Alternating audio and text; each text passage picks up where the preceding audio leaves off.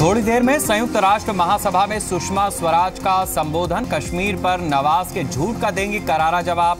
भारतीयों समेत पूरी दुनिया की टिकी नज़र।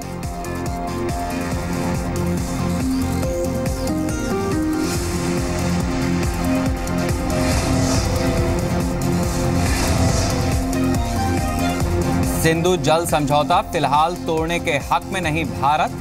लेकिन अपने हिस्से का नहीं देगा पानी। पीएम बोले, खून और पानी एक साथ नहीं बह सकते।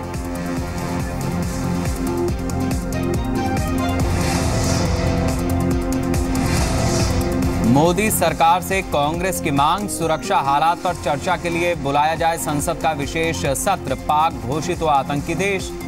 मोस्ट फेवर्ड नेशन का दर्जा भी हो वापस।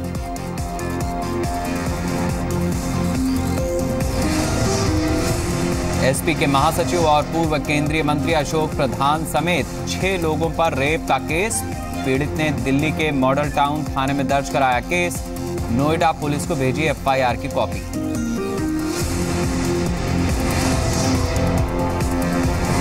उत्तर प्रदेश कैबिनेट का आठवां विस्तार। राज्यपाल ने 10 मंत्रियों को दिलाई शपथ। गायत्री प्रसाद प्रजापति समेत चार नए मंत्री बने।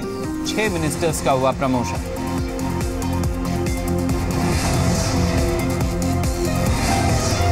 यूपी के सीतापुर में रोड शो में राहुल गांधी पर फेंका गया जूता। जूता फेंकने वाला लड़का गिरफ़्तार।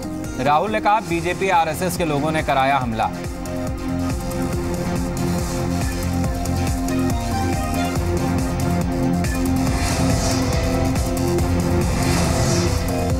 किसानों को लेकर बड़े बड़े वादे। पीएम ने 2022 तक इनकम दुगनी करने की बात कही, लेकिन सिस्टम से परेशान बागपत के किसान ने परिवार समेत मांगी इच्छा मृत्यु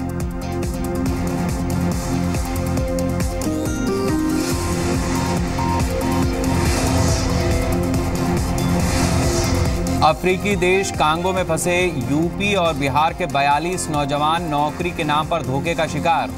परिजनों को वीडियो भेजकर सरकार से लगाई स्वदेश वापसी की गुहार।